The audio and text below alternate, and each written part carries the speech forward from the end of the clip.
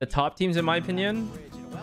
Um, us, no, Exa, Envy, Hundred Man, Thieves. next game starting? This is a waste Who of else? my Um, time. I mean, you can just leave the list. Like, uh, I'm forgetting teams, but there's a lot. V1, V1, Christian one.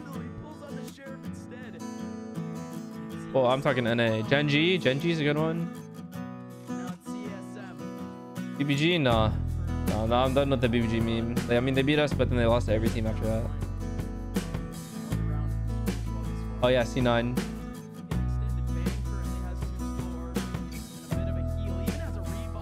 FaZe, yeah. FaZe is good.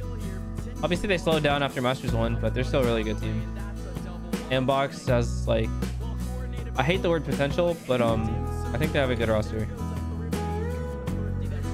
So I'd say, like, NVX 100 Thieves, yeah, those are, like, really strong ones.